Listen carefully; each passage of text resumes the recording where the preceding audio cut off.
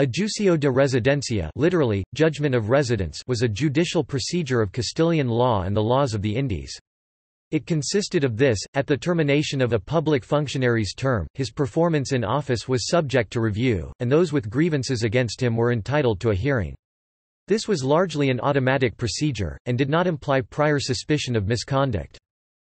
The official was not allowed to leave the place where he exercised his authority, nor to assume another office, until the conclusion of this judicial inquiry. Generally, the person charged with directing the inquiry, called the juez de residencia residence judge, was that individual already named to succeed to the position. The penalties for conviction varied, but generally consisted of fines. The Juicio de Residencia took on great importance in the administration of the Indies, perhaps because of the great distances involved and the difficulty of direct supervision by the Crown. It extended from the viceroys and the presidents of the audiencia to the alcaldes and the alguacils judicial officials, sometimes translated as sheriffs.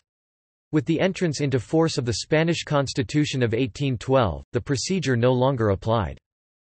Originally, every viceroy had to pass his juicio de residencia before his successor could take office. But in the 18th century viceregal juicios were conducted after the outgoing viceroy had returned to Spain. During the lengthy process up to six months, the degree of the viceroy's compliance with his instructions was analyzed, his job performance was reviewed, and many testimonies were collected from different parties.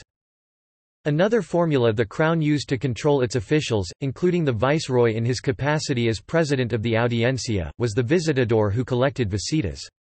The visitador was an inspector named at the pleasure of the king to investigate a particular administration. Like the Juicio, this institution had the aim of discovering abuses committed by the authorities, and proposing necessary reforms.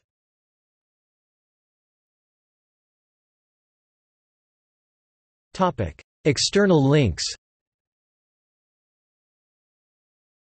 Marina, Belén 2006. El régimen disciplinario de los funcionarios públicos. Valladolid, Spain, Lex Nova 3rd, edition, p. 31–32. In Spanish